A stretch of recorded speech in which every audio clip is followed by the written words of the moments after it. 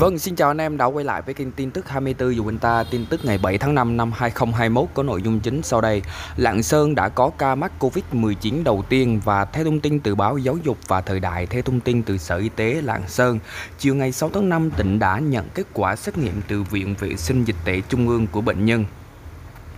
NA, nữ, sinh 26 tuổi đã dương tính với virus SARS-CoV-2. Bệnh nhân NA thường trú tại thôn Quyết Tiến, xã Tân Mỹ, huyện Văn Lãng. Trước đó, ngày 14 tháng 4, bệnh nhân NA đến Bệnh viện Bệnh nhiệt đới Trung ương cơ sở 2 điều trị và được xét nghiệm SARS-CoV-2 vào ngày 29 tháng 4 có kết quả âm tính. Đến 16 giờ ngày 4 tháng 5, bệnh nhân ra viện trở về phòng trọ tại thôn Bầu, Kim Trung,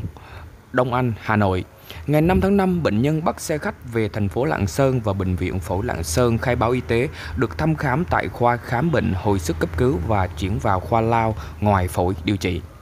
Sau khi có thông báo của Bộ Y tế về phong tỏa bệnh viện Bệnh nhiệt đới Trung ương cơ sở 2, bệnh nhân đã được lấy mẫu xét nghiệm sàng lọc SARS-CoV-2. Vào 0 giờ ngày 6 tháng 5, Bệnh viện Đa khoa tỉnh Lạng Sơn thông báo kết quả xét nghiệm sàng lọc của bệnh nhân NA dương tính với SARS-CoV-2.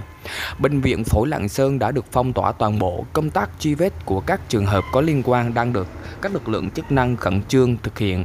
Ban chỉ đạo chống dịch bệnh COVID-19 tỉnh Lạng Sơn cũng đã phát động thông báo những người có tiếp xúc có mặt tại các địa điểm này. Đi xe khách lĩnh Tiến, xe 29 chỗ tuyến Thất Khê Hà Nội biển số 29B11456 từ 5 giờ ngày 5 tháng 5 đến hết ngày 5 tháng 5 khu vực Bích Bầu Kim Trung Đông Anh Hà Nội thời gian từ 5 giờ 30 đến 6 giờ 30 ngày 5 tháng 5 2021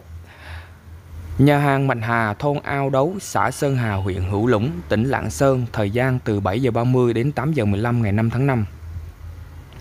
Đường rẽ vào thành phố Lạng Sơn tại nhà máy xi măng cũ thôn trung cấp xã Mai Pha, thành phố Lạng Sơn, tỉnh Lạng Sơn, thời gian 9 giờ đến 9 giờ 30 ngày 5 tháng 5. Lái xe taxi màu vàng đón khách F0 từ đường rẽ vào thành phố Lạng Sơn tại nhà máy xi măng cũ thôn trung cấp xã Mai Pha, thành phố Lạng Sơn về bệnh viện phổi thời gian 8 giờ 45 đến ngày 9 giờ đến 9 giờ 30. Và